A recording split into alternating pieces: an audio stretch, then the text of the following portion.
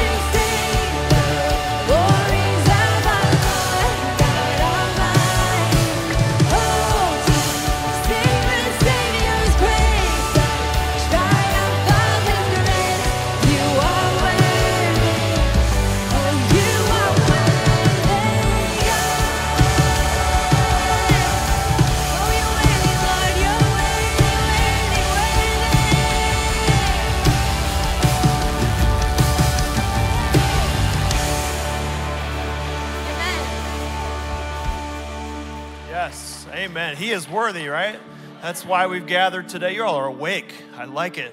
That's good. Hey, my name is Dave. I'm one of the pastors here. We want to just connect on a couple of things at the at the beginning of our service here. First, I want to say welcome. Great decision. Isn't it good to be together with others who are worshiping Jesus today? And uh, if that's a new experience for you at Harvest, we're really glad you're here and would love to say hello. We have a little welcome table in the lobby. I'm going to go there after church, and uh, we're really glad you could join us today.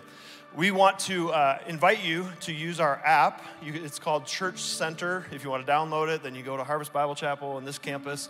But there's a lot of things in there that are helpful. One of them is uh, to connect when you're here. We'd love to know you're here.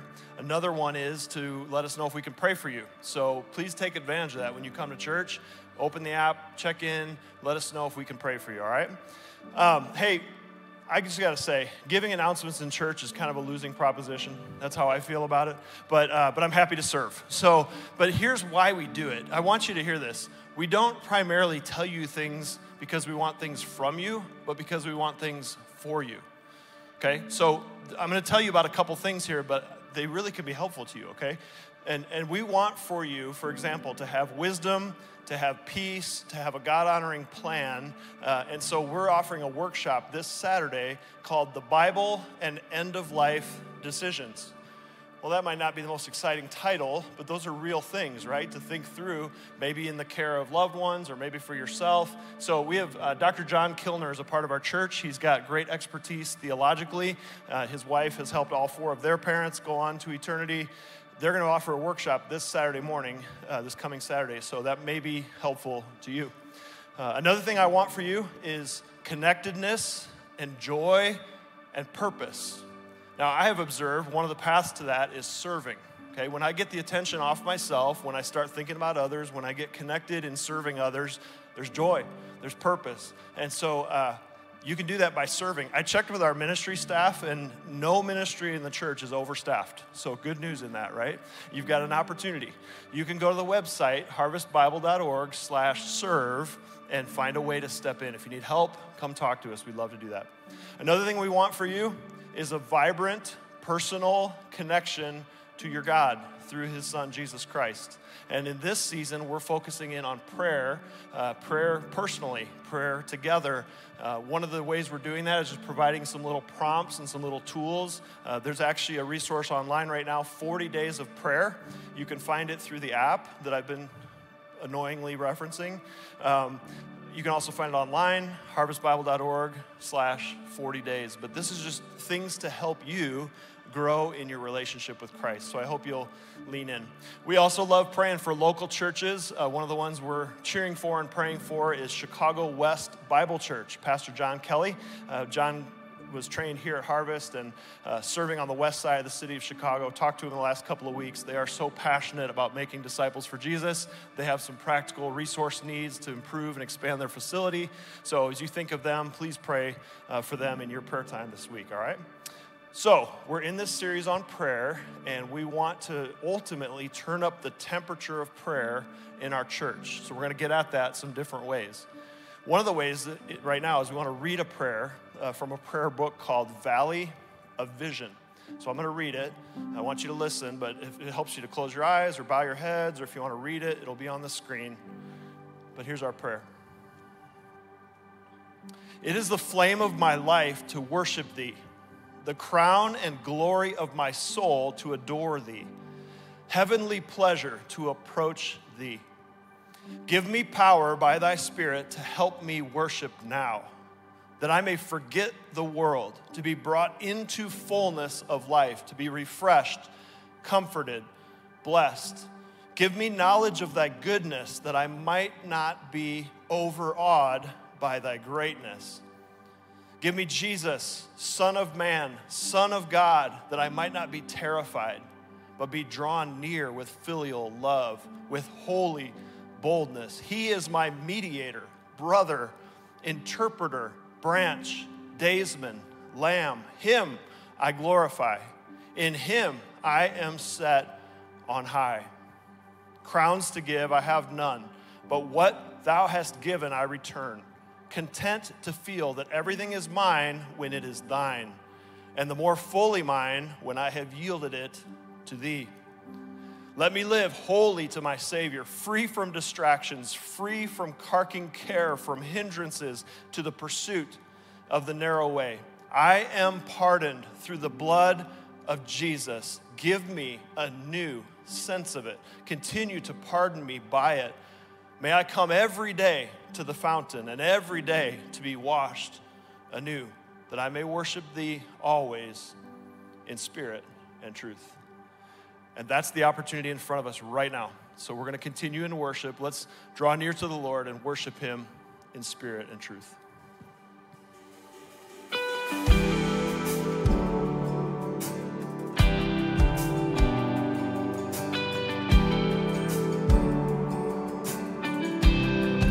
sing. I've seen the goodness of my God throughout my living years. There was never been a moment I ever walked alone. Through fire or through famine, I've never been abandoned. And your goodness keeps on going beyond my living years. You'll be faithful so constant and so true. You'll be able to do what I can do when there's more that I can handle in the face of all my fears. You will be faithful beyond my.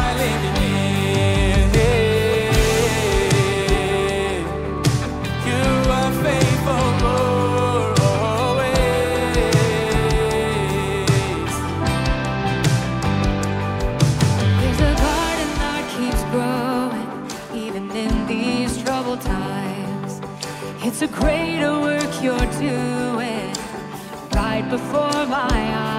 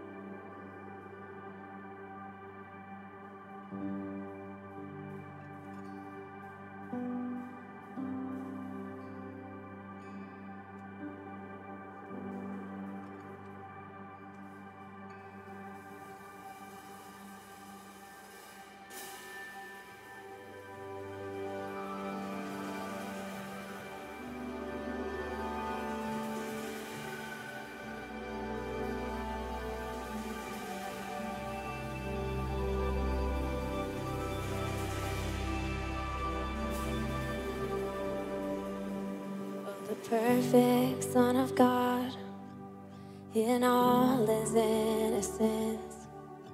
You're walking in the dirt with you and me.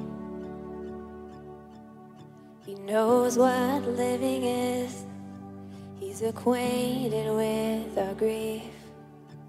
A man of sorrow, son of suffering. Oh, bless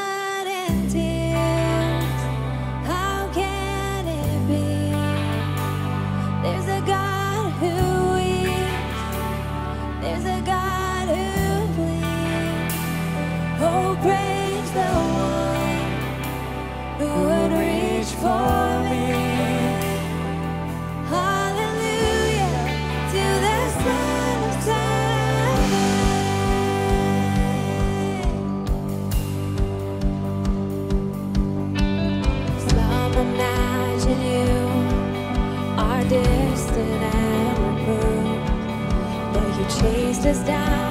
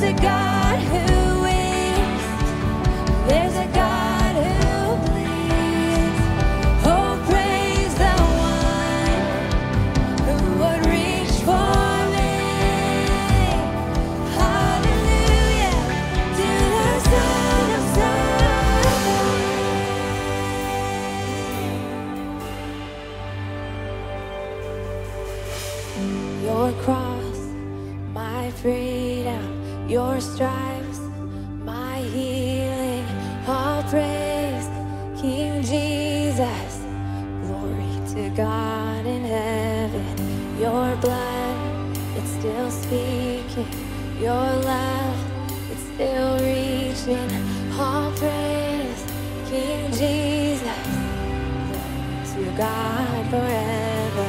Your cry.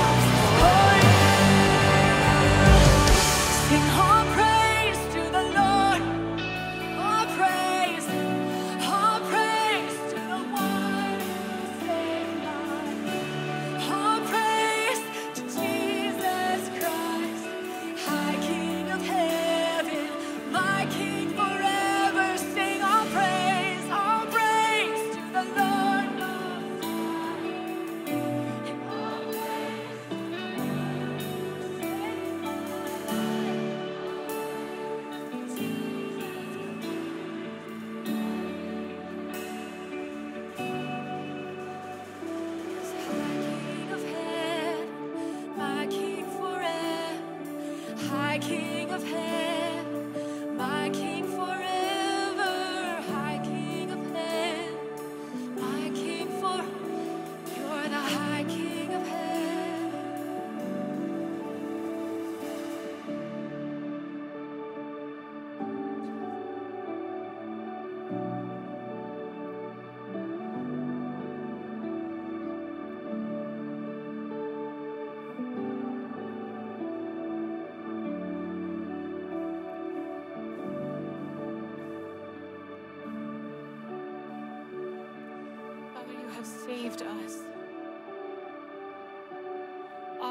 praise to the one most high.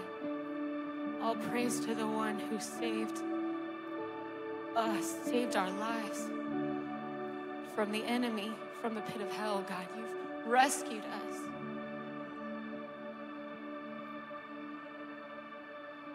We praise you, Jesus. Thank you for what you've done. We honor you. We praise you. We worship you. We acknowledge you as King of Kings and Lord of Lords. There is no one beside you. You are it. You are Creator. We love you. You are holy and righteous and good and just.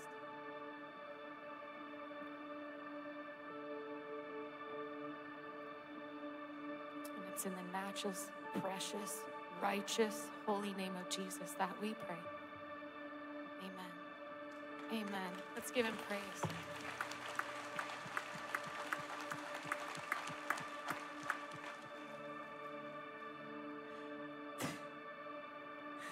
I don't like moving on, sorry. He's so good. He's so holy. Amen. So, in that spirit of encouragement, that spirit of fellowship as a church, let's turn to each other, encourage each other in the Lord. Amen. And you can take a seat.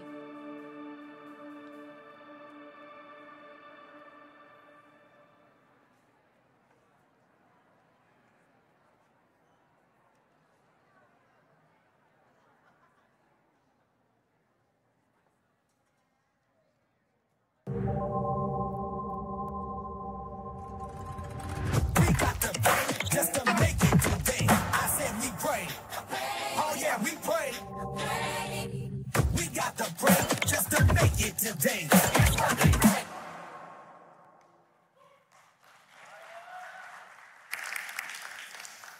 Hi, how are you? It's good to see you. Um, before we uh, spend some time, everything's weighted to this side. This must be the, you guys are the righteous remnant over here. I love it. This is awesome. Um, before we uh, study God's Word together, um, I want to spend a little bit of time in prayer. Uh, also, just to remind you that um, part of our worship to God is, is through giving. If you are new here, first of all, my name is Jeff. I get the pleasure of teaching the Bible here. And uh, also, your presence here is gift enough. Through, we're not we're not into accepting your money at all. In fact, uh, we're, we're happy if uh, you don't want to give at all. It's awesome.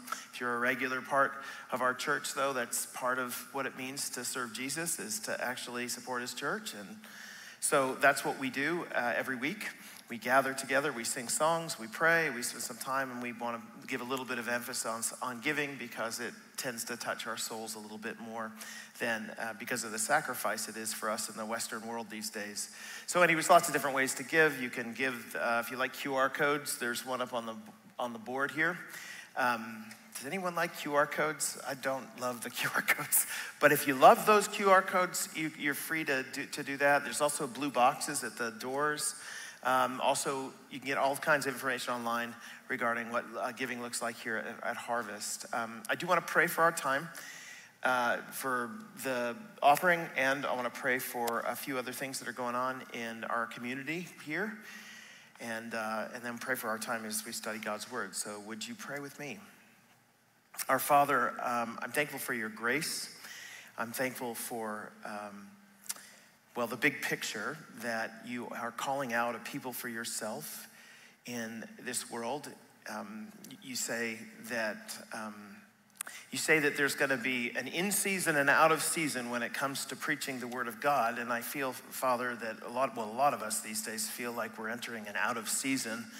We in the West here have had some in season for a while where people were very excited to engage with um, the scriptures, but now, Father, it feels like there's a real negative view toward those scriptures here uh, in our area. And uh, we're trying to figure out what it looks like to be faithful Christian people in the midst of all of that. So, um, Father, would you, would you help us to do that? Would you help us, uh, our church and churches around our region, to remain faithful to, um, to the scriptures, to what they teach? Um, there's lots of pressure coming at us from all different sides to give in to the spirit of the age. And I pray, Lord, that that would be pushed back there are lots and lots of pastors who are going to be standing up in pulpits in the next few days here. And I pray, Lord, that you would grant them a supernatural uh, boldness to proclaim the truth of your word. Um, and there will be those who don't like it. And I pray, Father, that um, you, you would well, expose those ones who don't like it, expose their hearts and their minds to the truth of it, and uh, convict them. And Father, I pray that you ultimately would draw your people to yourself. And um, would you give, maybe, Father, would you, would you give us um, a revival here in Chicagoland? Would you grant us, um, would, would you grant us a real turning back to you? Uh, among so many people, Father, who are running headlong after their own desires or who are uh, serving a God of their own making. I pray, Father, that there would be a real move of your spirit around our area. Would you find us faithful in um, our attempts to try to reach those folks all over the place? It's very easy for us to just say to them, Come, come to church, do, come and join us. But uh, Father, help us to be motivated to go outside the doors of our church and to go to where they are and to reach them in uh, good contextualized ways. Would you help us to figure out what that looks like? I pray, Father, that you would bless uh, the finances that uh, Harvest has. Uh, and also, honestly, Lord, um, I'm thankful that um, you also limit some of those finances. It, it, you, we, we tend to come to you when we need. And Father, uh, when we don't need, we tend to just assume. And you've put us in a position, Lord, where every week we have to come to you because we need. And the, the church, need, your church needs to uh, have your provision. And I pray, Lord, that you would do that.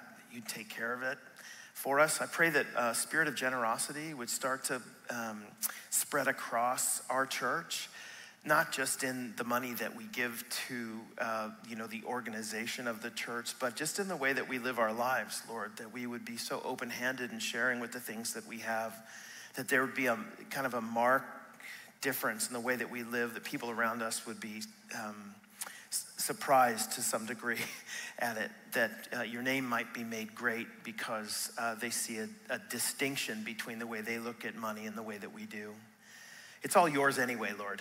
So would you give us real stewarding hearts, a willingness to, to give back to you, but also to give to others wherever they might need it. Um, Lord, our country is filled with all sorts of challenges. We read it in the news um, these days. I, I, I, pray, Father, for a unity uh, among people of different backgrounds. And um, I pray, Father, for an openness of your church to, to welcome in outsiders and and figure out how it is that we can best serve uh, our communities. Uh, we need wisdom, Lord. It's so difficult to do, but I pray that you would grant us all of the wisdom that we need. You say that when we ask, you give it, so we're asking for that. And along those lines, we're going to jump into your word here in the next few minutes. I just want to thank you that you, you've given um, years ago, Father, that you, you through your Spirit, um, inspired the apostles to write these things down and that we get to actually study it. And I pray, Father, that you'd find us, uh, again, faithful in reading it in its context, and that we would um, come to love your word more and more, Father. Would you expose to us its, its, um, its jewels in the next few moments? Um, help us to pray better and more and more consistently because we study passages that where our Lord teaches us how to pray. So I pray that that would be the, uh, the effect of our time together here in the next few moments. Would you bless us with it in Jesus' name? Amen. There was a very short period of time in my life where I was a, uh, I, I got involved, and by short period I mean like hours, where I, where I got involved in uh, saying pagan mantras in order to get what I want. It was when I was little, okay? So don't judge me too much. But I was uh, supposed to sell uh, candy bars at the door of a at the door of the grocery store. I don't even know if they do that anymore. You know the chocolate bars. They, for those of you who are my age, remember the world's finest chocolate, which was the biggest lie in the world. Right? It was in no way the world's finest chocolate, but it was a way for you to make money for your school, and you got prizes if you sold the most. And so me and my friend, we went to the local grocery store in the Pacific Northwest where we lived, and I remember standing at this grocery store, and we were having a really hard time you know, unloading these chocolate bars to, to people. Uh, I, my friend probably wasn't cute enough. I mean, I was doing fine, but he was not. He was not. So anyway, we looked at each other and we were like, this is, is not going well at all. We had so, we had like four, all these boxes of candy. And this lady came out the door and she said, how's the sales going? And I said, we said, nah, it's terrible, right? And she said, well, let me give you some help. And she gave us a little card, and on this card, it had a little, it, I, I don't even know what it said, but it was just a bunch of syllables. And she said to us, if you say these syllables every time, every time, that before you sell a chocolate bar, you will sell almost all the bars. And we were like, really? That's not, she said, seriously, seriously, this will tap into the spiritual forces and will give you the ability to do this. And of course, when I was, when we were young, we were like, I don't care about spiritual forces. I just want to sell the candy bars. So we, we were like, that's fine. Anyway, she walked away. She gave us these little cards, well, each one of us. And so the next time uh, somebody started walking out, I, we said, I said it out loud. And I said, Do you want to buy a candy bar for our school? Whatever. And he did. He bought like three. And I was like, Oh. My friend then said the phrase, and the next person came out and he sold another couple. And then I did it again and I sold another couple. We were on a, like a hot streak for a little while there. Now, there were some people who went by, even though we said it, and they didn't buy a candy bar, but for some reason it got lost in our thinking. We, were, we got so bought into this idea that we could say this phrase and it would actually do it. So, anyway, we sold all the candy bars. We did. We couldn't believe it. Anyway, my mom uh, came pick this up. I remember going to my neighbor's house who uh, was a Christian, they're a Christian family, very committed Christian family. Uh, Mike came from kind of more nominal Christian family uh, who clearly gets involved in pagan practices in order to sell candy bars. But um, I ended up going to my friend's house, a really committed Christian, and I had this card, and I was telling him, "Dude, I've got the secret to life. You know, we can, we can, we're rich. We're gonna get rich with everything. You say this thing, and then." and then you get what you want. His mom overheard us and she came over and she looked at it and she said, Oh my goodness. She said, Can I have this? And I said, Well, no.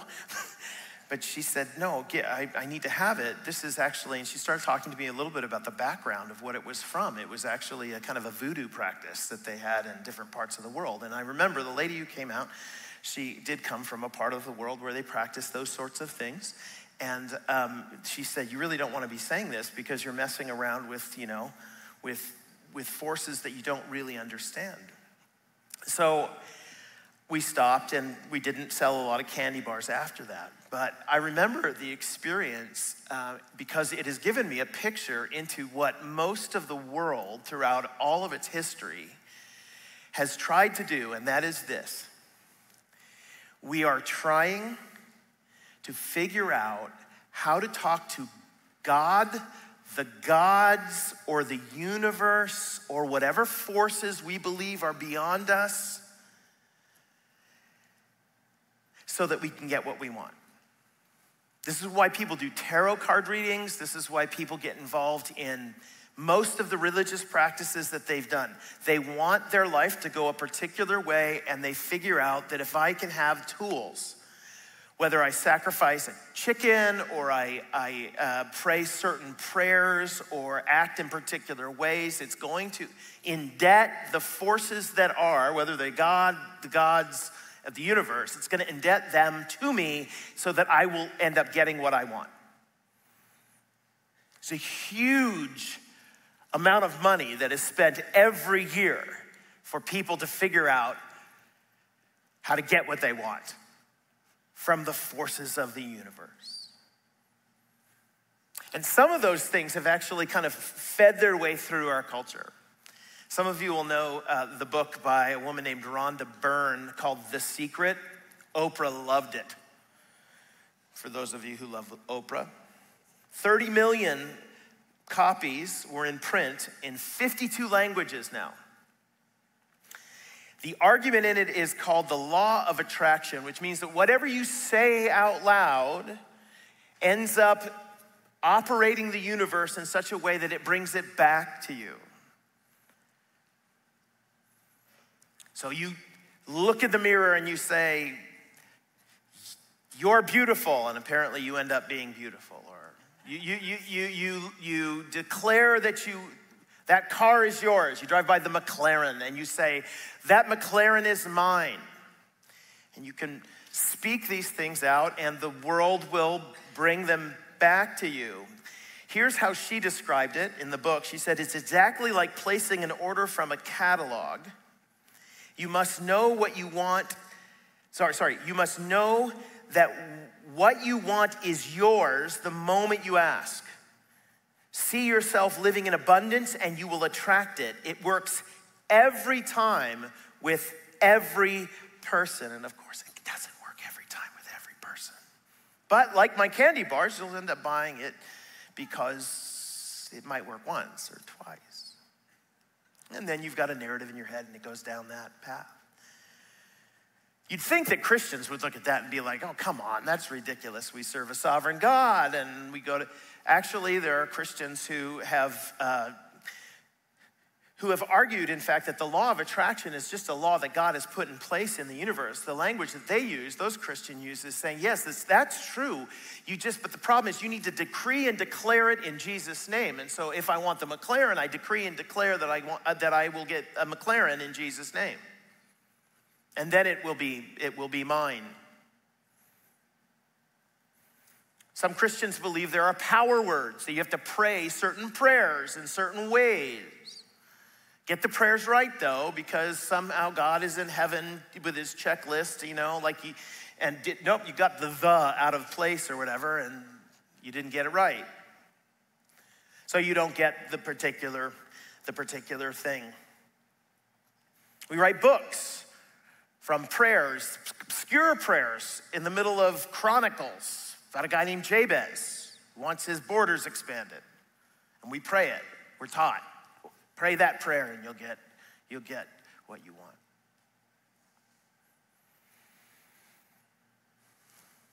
What's really interesting about all this is that um, when it comes to prayer or speaking to the powers beyond us, Jesus actually teaches Christians how to do it. And I don't mean in some weird passage somewhere. He actually answered a question once when they said, Jesus, teach us how to pray. And he's like, okay, here's how you pray, which seems like a good place to go if you want to learn how to pray. In the book of Matthew, chapter 6, Jesus describes exactly, exactly and explicitly how prayer should look. And it would be ridiculous for us in this series that we're doing on prayer for six or seven weeks here not to begin with what he taught. So, what I want to do is, I'm going to do this in two weeks. We're going to talk about the prayer that Jesus taught us to pray in two weeks because it's loaded with all sorts of significance. This week, I want to give a little bit of the background to why he said it in Matthew's gospel. Then, the first three statements in what's called the Lord's Prayer, although it should be called the disciples' prayer because we're the ones who are praying it, yeah? And then next week, we're going to do the last three. You should come both weeks. I mean, you're already here, come back next time, and you'll get the next one. So, how do pray according to Jesus? Five answers to that question today. Five things he's gonna say about prayer. Right? Ready? Number one. How to pray according to Jesus? Well, number one, not, you don't pray for the praise of other people.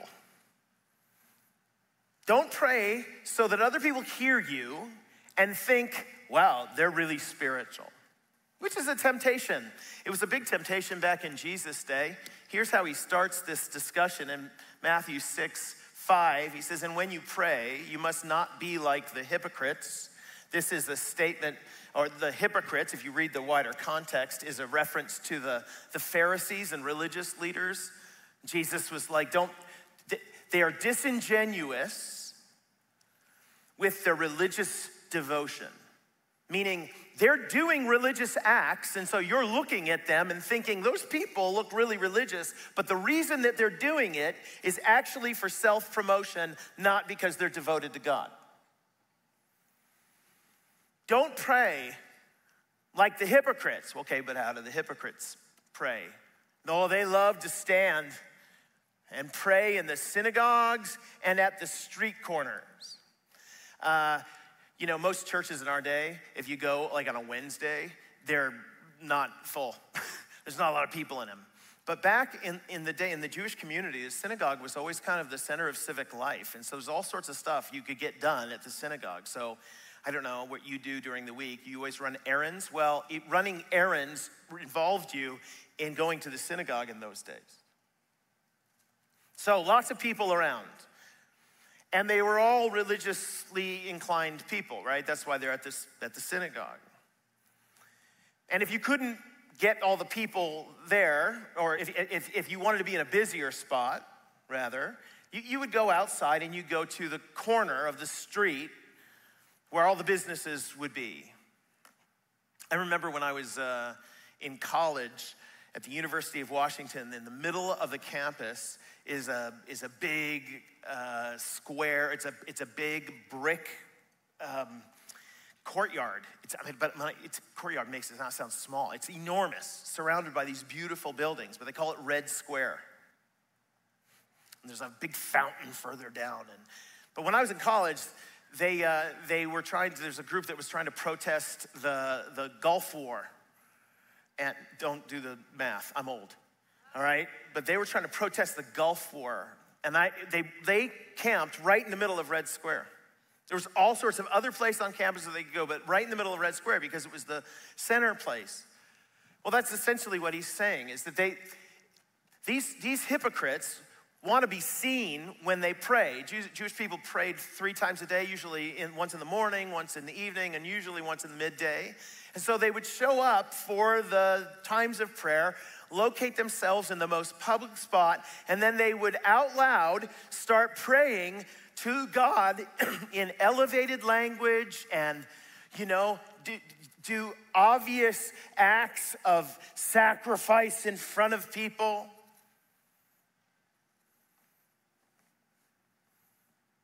Why? That, that they may be seen by others. They want people to walk by and think, wow, that person is a really religious sort of person. That in the same way that you and I might dress really well so that people think that we're really rich or that we really got it together or really beautiful or whatever it is, they wanted people to think they're really religiously inclined and God must really like them a lot. Truly, I say to you, they have received their reward. Uh, the reward, in other words, the only thing they're getting from God is the attention that the other people are giving them. That's it. There, there is nothing else that the Lord is going to bless them with in answer to their prayer. But when you pray, instead of doing it their way, but when you pray, go into your room and shut the door and pray to your Father who is in secret. This is probably a storeroom in, in your house. They did not have houses our size. There was usually one storeroom and they kept animal feed in it and stuff. It was not the kind of place that you would hang out in. Unless you, maybe you said a bad word and you were a little Jewish guy and your mom put you in there or whatever. But nobody else is in the room. It's not set up for people to hang out in there. And so the point he's making is go into the most private location that you can imagine in your home, hang out in there. Because when you're in there, there are only two people going to be able to hear your prayer one, you, and number two, your father who is in secret. Meaning that God is omnipresent, He's everywhere, even in the secret places. And your Father who sees in secret, he, he will reward you. He'll, he'll listen to your prayer. What you're praying about is something that he'll be interested in. Look, this is not condemning public prayer. Please, please don't read it that way. Some people read that and go, well, I guess I'm never going to pray in public. Thank God, you know? For fear that someone might hear me and think that I'm super religious or I, I might be motivated to do that kind of thing. It's not condemning public. Jesus prayed in public. Right before he feeds the 5,000, he prays publicly for everyone to hear. So he's, he's, not, he's not against public prayer. It is, though, saying that religious acts, listen closely, religious acts done for the praise of others instead of as devotion to the Lord are worthless. Please hear that, my church attending friends. religious acts, prayer, giving, attendance at church, done for the praise of other people so that they will look at you and think, well, now that's a good person. If they're done for that reason and not for devotion of the Lord, God wants nothing to do with them. In fact, I'll even go one step further. There's a guy named Ananias and his wife Sapphira who actually, when it came to giving, came to the church and said, Here's the full amount of our giving. We wanted, and they did it publicly. Look how much money we're giving to the church. But they lied about the amount. And God killed them. So God takes very, very seriously disingenuous, hypocritical worship and prayer. So, how should we pray? Not for the praise of other people. Now, look, I'll be honest with you, in our culture and stuff like that, I don't think this is a massive problem for a lot of people, right? Most people who, who go to church these days, they're not doing it so people will pat them on the back. the next one, though, is something that uh, we struggle with. The second thing, okay, not for the praise of others. Second, not like a babbling pagan. How should you pray? not like a babbling pagan. Verse 7 And when you pray, don't heap up empty phrases. This is a translation of one word in Greek. And, and the word is, is bata logeo. Logeo means to say. Bata, that's what it means. To say bata. Bata, bata, bata, bata, bata, bata, bata, bata, bata, bata, bata, bata, bata. Do you get the idea? It's what we call an onomatopoeia. It's, it, don't talk like that when you're talking to God. Don't, don't just repeat mantras, which was the way that most, most pagan religious uh, people w- would pray.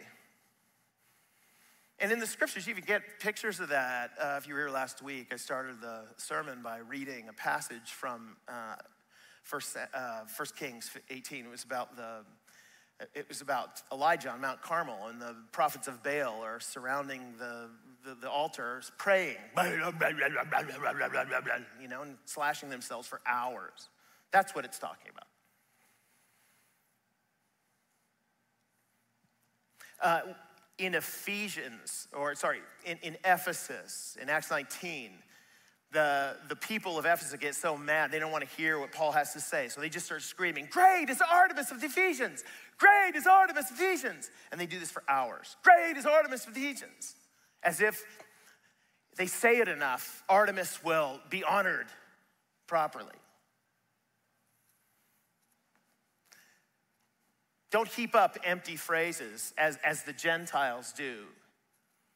For, for they think, the reason they're doing this is that they think that they'll be heard for their many words, as if, they're, as if, as if God is, you know, busy doing something else. And he's like, What is that noise over there? I didn't hear it first, but after two hours now, I've got it. Do not be like them.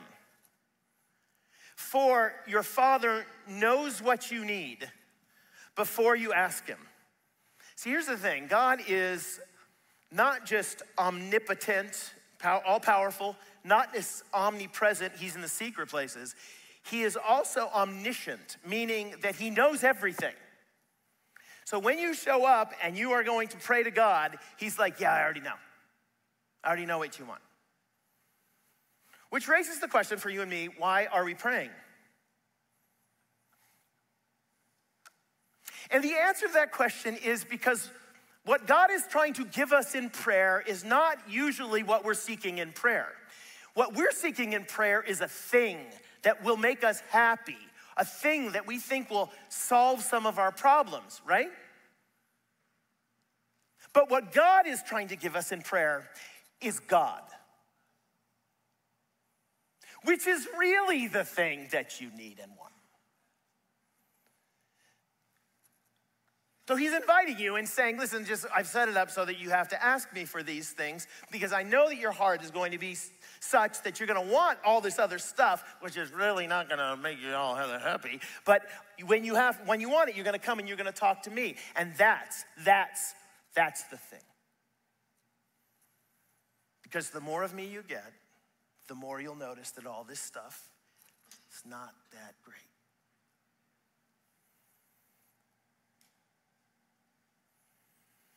It's hard for, for us because a lot of times we, we, the way we view God, I'll be honest, is kind of as a as, as a gatekeeper.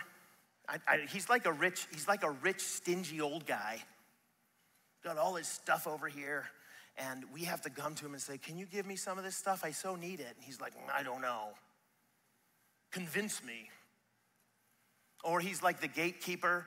You know, we come to the door. Can I get in there and have some of this stuff? And he slides the thing over. What's the password?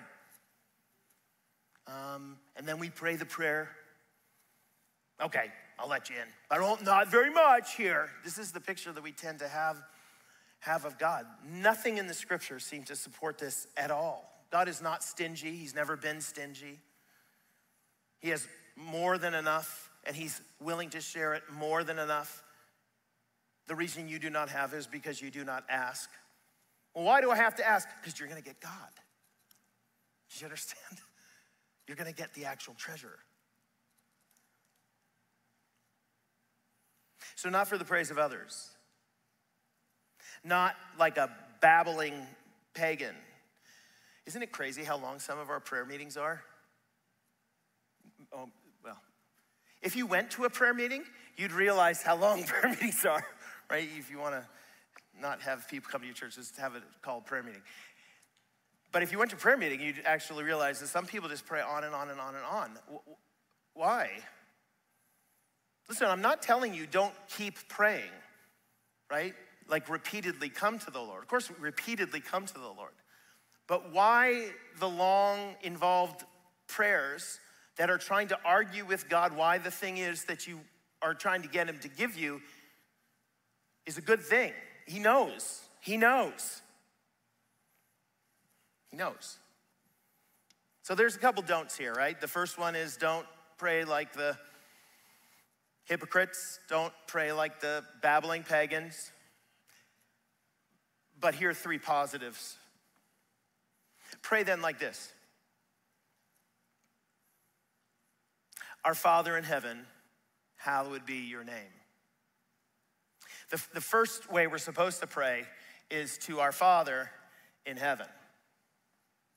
Notice, though, before I say anything about that, um, we're supposed to pray like, like this.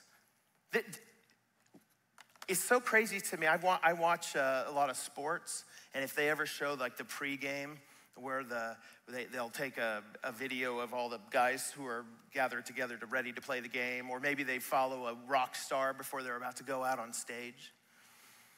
Invariably, they'll all gather together with their arms around each other, and they will say, What? The Lord's Prayer.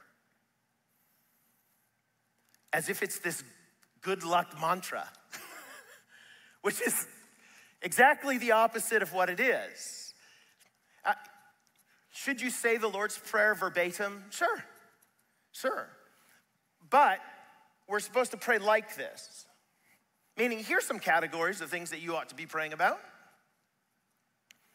Here's a good outline for you. Our Father in heaven. I, I brought up last, uh, last week that the fact that God is called our Father is a very important fact. Jesus is saying this. The way that they spoke in those days, they spoke in the common the language they spoke in was Aramaic. And in Aramaic, the word that he likely used here was Abba, Abba, which means daddy. It's a very uh, intimate word. It's, it's, it's what you call your dad uh, who you love and who's been a good father to you, okay? In Greek, it's written down as father, which is what the normally, if you're going to translate from Aramaic to Greek, that's, that's the word you use for Abba, is father. But the image that he's trying to present to us is that of, of a loving dad who cares deeply for their kids, who is well aware of their needs and their wants, and who is really excited to both speak with the children and give them what it is that they need. My daughter, uh, after uh, talking last week a little bit about her, I, I, I was reminded this week of um, the one time when she came home from school and they had at her school the Scholastic Book Club. Do you guys remember the Scholastic, some of you? Where they give you the pamphlet and the kids come home and they circle the different things that they're going to go and then they go to school and they get to order the books they have like a big book table or whatever to try to show a lot of the books and anyway she's, she, she was like seven and she had gone to the to the thing with her little pamphlet and she had walked up to the books and she stood there and looked at all the different books and she came home with nothing and i said to, when she came home with nothing she was very sad and i said what did why didn't you get anything she said well i didn't have any money and I said, I have money. And she said, I know. What, why, why didn't you ask me? I can ask you? yeah. You, I would have given you all the money. Honey, you'd own the store. Like, you, you, would own the store. That's the mentality, though, that our Father has toward us. Ask me. Ask me. You do not have because you do not ask. Even for the little things, yeah, all the stuff. Big stuff too, yeah. Fill your boots, man. Just knock me off my feet with how big a request you want to give.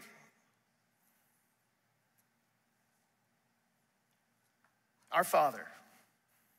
But He's in heaven. So, so the language of Father is really intimate and near in, in this past. Please, if you've had a bad father, please don't put that here.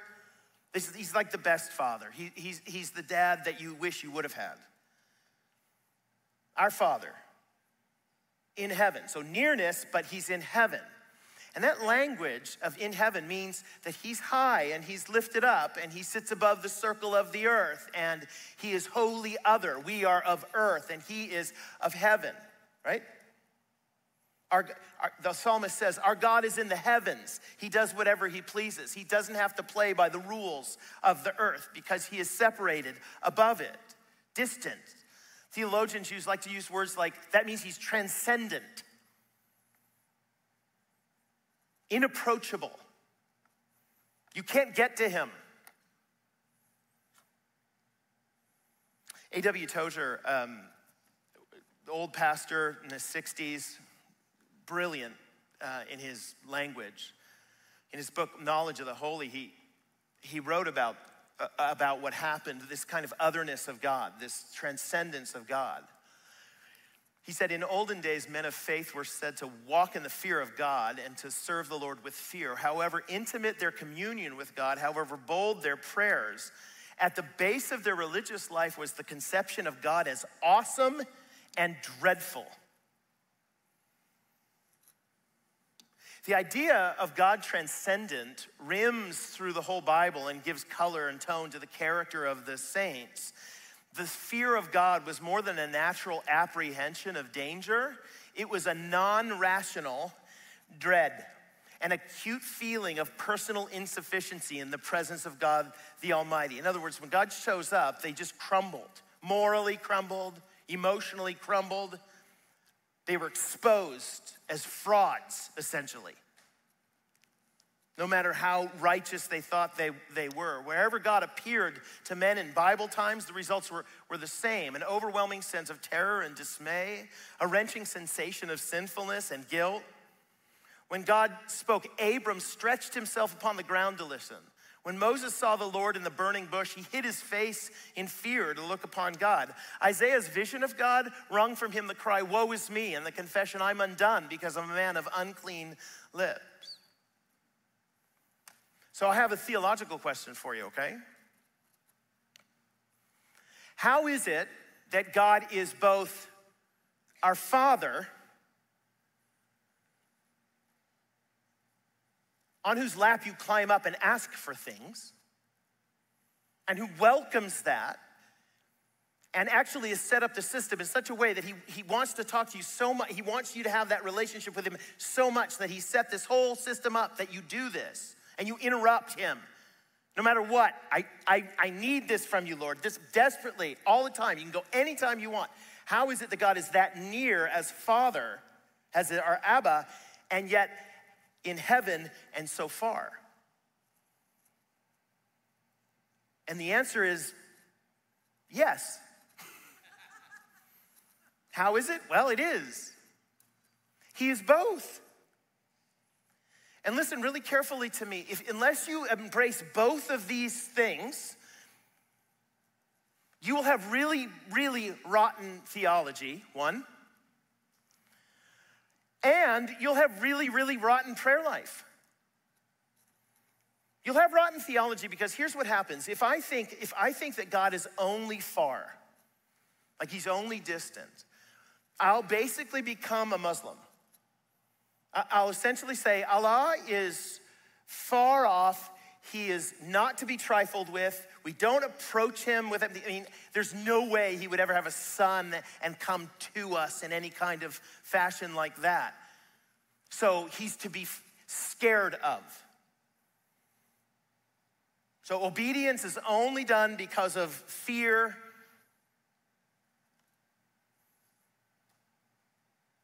Or you'll end up being somebody who, who, who, preaches the Bible like the hellfire and brimstone people who just loves talking about, oh, you're gonna kill every last one of you and bury you under hell, you know? That, that's gonna be your, that's gonna be your like tone. But listen, if he's only near and not far, if he's only near and, he, and, and he's not far, you're also gonna have, you're also gonna have, have a problem Remember Bruce Almighty? Some of you, I mean, I'm old, so I remember this movie. God was portrayed as a janitor, right? Isn't that great? God's a janitor and he's trying to answer your prayers the best he can, but he can't figure out how to use Microsoft Windows 95 or whatever it was. Or you'll end up writing songs. You guys ready to get offended? You'll end up writing songs of worship to God that sound like he's your boyfriend. Would you like to hear a couple?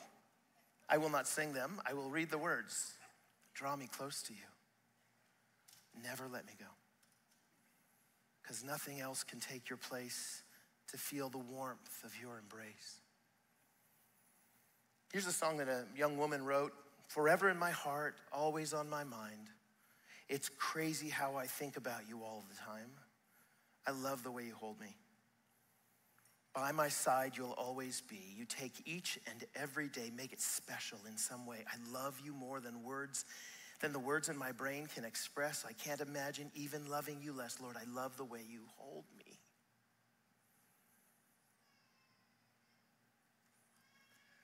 All right, I get it. I get it. They're trying to convey in words the nearness of God and that, but I'm telling you, if you overdo the nearness of God, what you've got is a God who really likes you a lot, but doesn't do a lot for you and can't do a lot for you. You know what he can do? He can provide therapy because he's kind of like your dog who shows up and hugs you a little bit. Because your dog is near, your boyfriend is near, your girlfriend is near. The Almighty who says, you know how big the universe is? About that big? That God, he's, he's far and he's near. Don't cut it in half. He's both. And if he's both, listen, if he's both, then the far God who sits enthroned above the circle of the earth can answer any single prayer you ever have because he has power to do so. No one will stop him from doing what is right and best and good according to his plan and your ultimate good. Nothing will stop him in the universe because he's not part of the universe. But he's also near so that he is obligated by himself toward you. Look, um, if there's a, a, kid who comes up to me in my house and I don't know him, and he's like, Can you get that cookie from the top shelf? I'll be like, Get out of my house, right? You shouldn't be here. I have the ability, listen, I have the ability, I'm tall, I have the ability to get the cookie off the top shelf. But I'm not obligated in any way to get the cookie off the top shelf. In fact, this kid's trespassing. But if my daughter or my son comes in and says, Dad, can you get me the cookie off the top shelf? I am both high and lifted up and obligated because of my relationship. And only those two things will make prayer possible. You, you, you will not get anything from a God who is not both of those. So embrace the tension of both of them. He is our Father in heaven. Hallowed be his name, right? So, the, the fourth thing, uh, we pray for God's name to be highly regarded. We want God's name to be made much of. So uh, the language, pray then this like, like this, our Father in heaven, hallowed, it's not a word that's used. It's October 31st is what we're thinking there. Hmm, that's, no, hallowed is, uh, if you ever seen someone, you know, if maybe they're at a site of a great battle and they'll say, as we stand here on this hallowed ground, the, the word, it means famous, but in the good way, right? Like in the good way. Not famous because, you know, they did some weird thing on TikTok. Famous because they're amazing. They're, hall- they're hallowed. We, we pray that God would, would not be made famous, not be made hallowed, because he is hallowed, but that his hallowedness is known. We want God to be famous in all the world for being the God that we know him to be. Hallowed be your name. Why his name? Well, your name is your reputation, right? Son, don't you sully the family name. What am I saying? Well, I'm, I do not want the reputation of our family to go through the mud because of your actions. So when, when we pray, Hallowed be your name, we say we, we want what's true about God, his magnificent character, to be known everywhere so that his reputation is sparkling among everyone. Our Father in heaven, make yourself famous as you ought to be.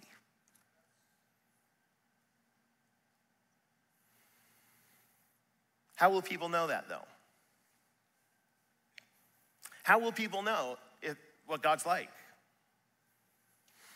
Well, there's a couple ways, I think. Uh, number one would be the way that you and I talk about Him, yeah? Or when we give testimony to God, to, to other people about what God has done in our lives, aren't we basically telling stories about how amazing He is to them? Right. We're telling people, look how amazing his character is. Here's, here's what he's done. So we, we can give testimony. Or we can live in such a way in response to him or underneath his lordship that it gives testimony without the words. Yeah? The problem is that the people of God throughout the history of the world have never been that good at this. Here, Ezekiel 36 uh, when they came to the nations, the people, the, the, God's people came to the nations, wherever they came, they profaned my holy name. In that, how did they do that? The people of those nations said, These are the people of the Lord, and yet they had to go out of this land. If they were the Lord's people, why, would they, why wouldn't the Lord have taken care of them there? But the reason they went out of the land is because they disobeyed God. But I had concern for my holy name, which the house of Israel had profaned among the nations to which they came. Therefore, say to the house of Israel, Thus says the Lord God, it is not for your sake, O house of Israel, that I'm about to act, but for the sake of my holy name, which you have profaned among the nations to which you came.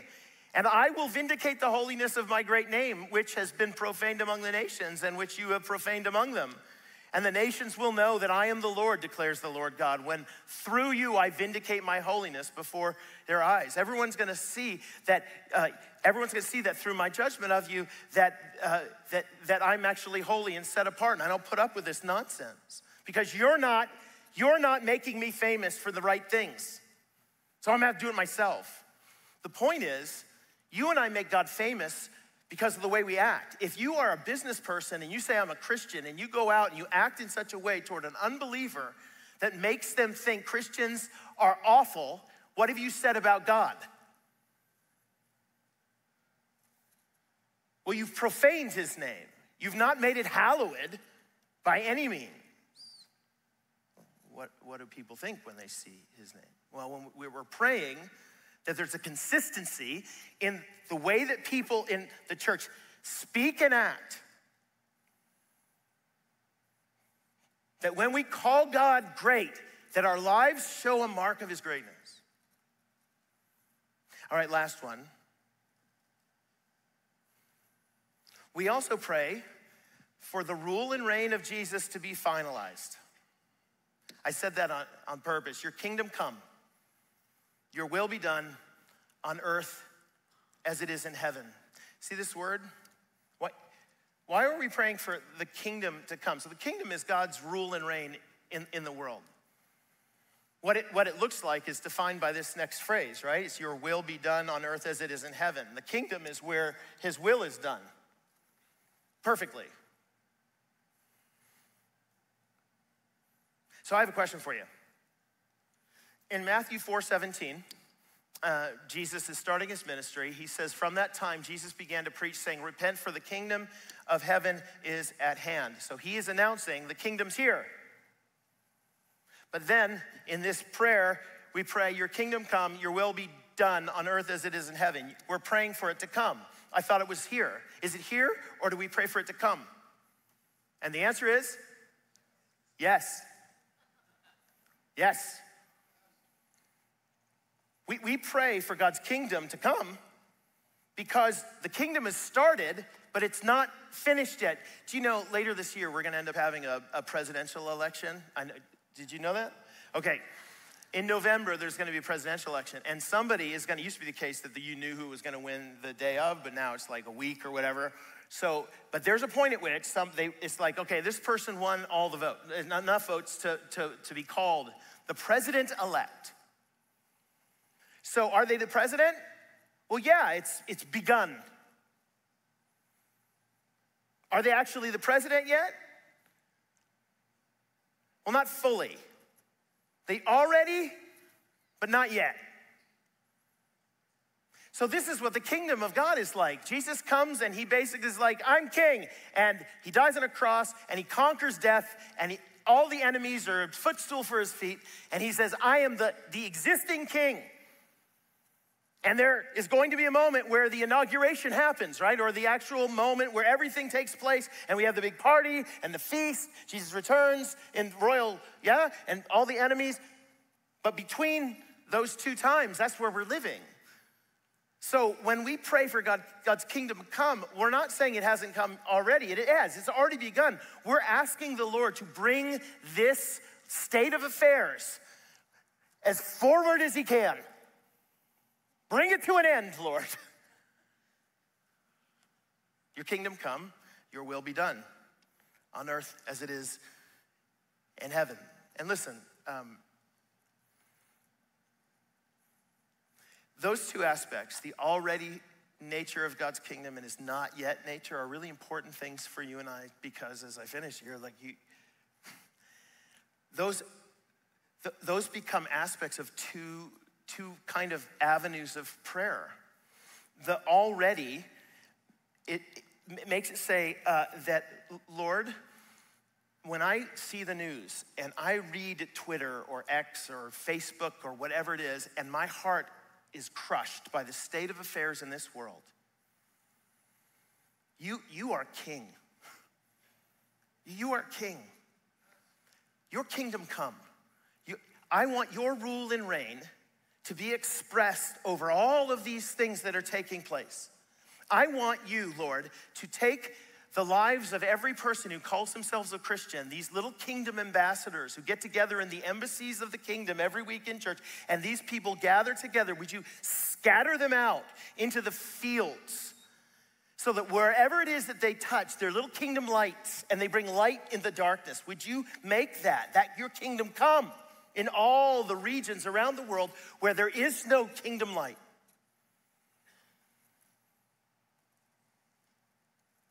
But I'm also praying, Lord, bring it to an end.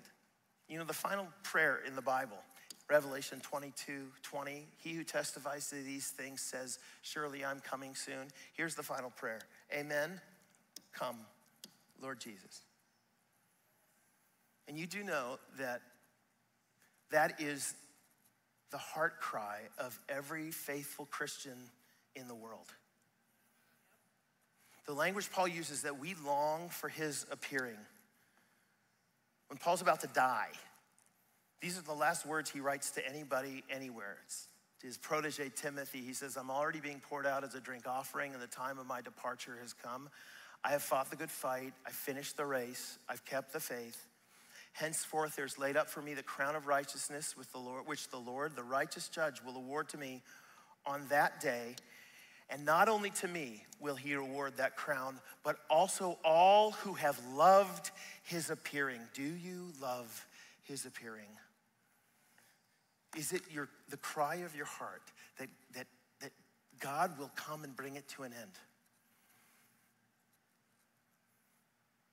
If there is a part of you that's thinking, well, not until I, you do not understand the majesty of the kingdom of God. Well, I want, I want to become great at this sport yet. Come on, man.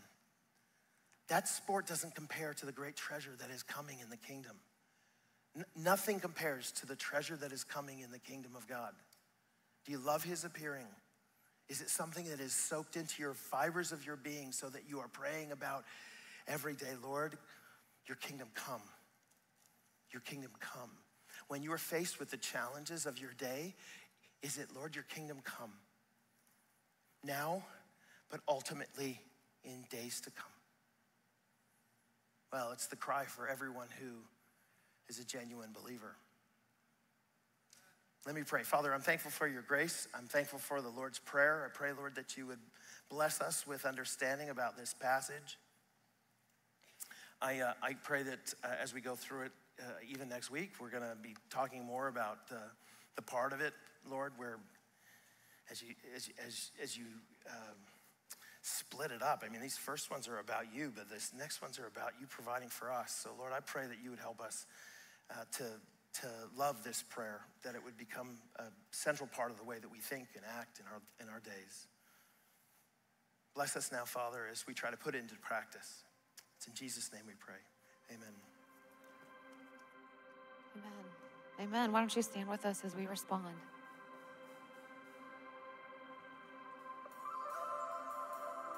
a lot to look forward to as believers. Amen.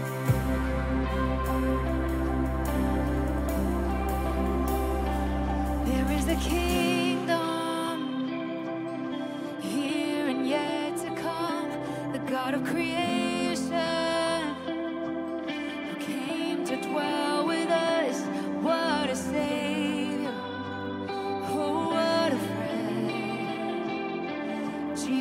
Jesus,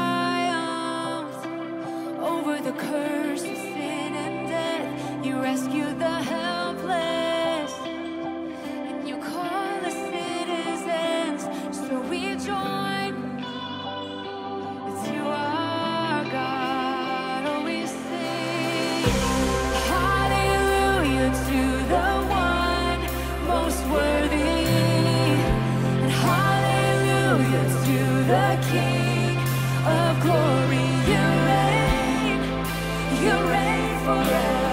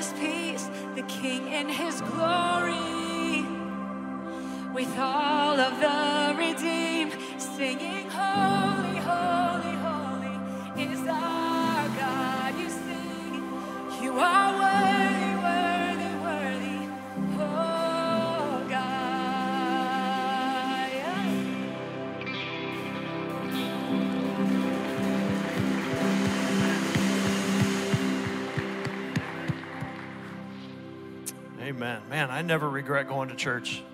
I'm never like, what a bad idea. That was such a bad idea. Wow. We need the Lord.